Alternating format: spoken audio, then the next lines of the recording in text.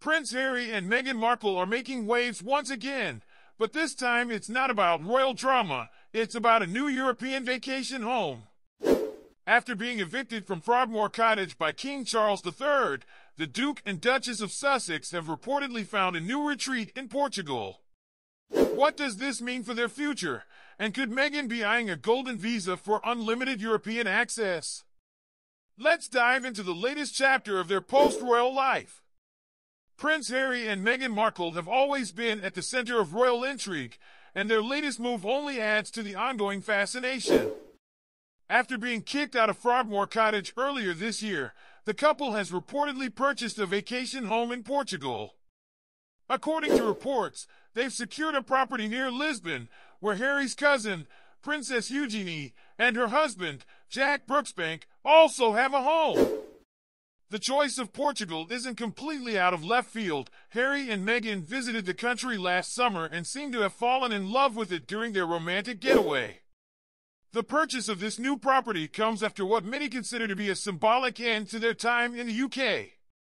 Their eviction from Frogmore Cottage came shortly after Harry released his explosive memoir, Spare, which pulled back the curtain on his strained relationship with the royal family. The eviction process reportedly began just one day after the memoir hit shelves in January 2023, and by June, the couple had officially moved their belongings out of the Windsor estate. The media buzzed with rumors that the property had been handed over to Prince Andrew, but for Harry and Meghan, this signaled the final chapter of their residence in the UK. Their new home in Portugal, however, marks a fresh start. Set in a scenic area north of Lisbon, their retreat is nestled in a region known for its luxurious estates and breathtaking coastal views. Interestingly, Meghan's ties to the home could extend beyond just owning a piece of European paradise. Sources suggest that she may apply for a golden visa, which would grant her greater access to the 26 Schengen countries, allowing her to travel freely across Europe. For the couple, who currently reside full-time in Montecito, California, this could open up a world of possibilities for European vacations and even long-term stays in countries like Italy, Spain, and Greece. What's also notable is the couple's continued distancing from the rest of the royal family. Harry's relationship with his relatives has been under intense scrutiny, especially after their decision to step down from royal duties in 2020. Reports indicate that Harry and his brother, Prince William, have grown even further apart.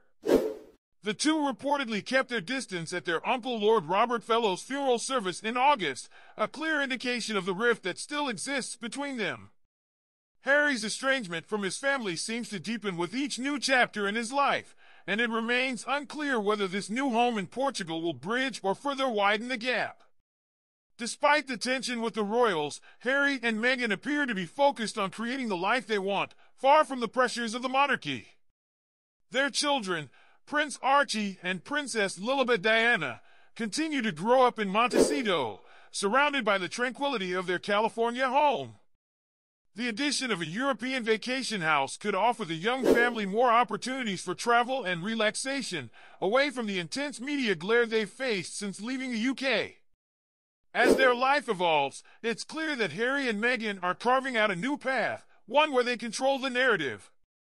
While they may no longer have a formal place within the royal family, their choices, from real estate to future travel plans, suggest they're embracing their freedom. And for royal watchers, this latest move to Portugal only adds to the intrigue surrounding the couple's next steps. Prince Harry and Meghan Markle's story is far from over, and their latest move to Portugal signals a new chapter in their post-royal life.